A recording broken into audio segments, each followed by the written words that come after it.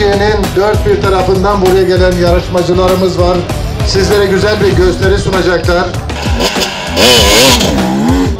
Ben bu kapsamda buraya kadar geldiğiniz için sizlere teşekkür ediyorum.